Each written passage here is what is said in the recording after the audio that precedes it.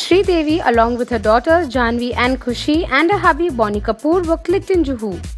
The Kapoor family seemed to have had a fun evening out.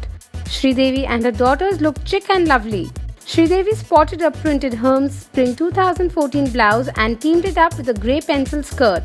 And Jahanavi looked quite hot in a white short dress. Do check them out.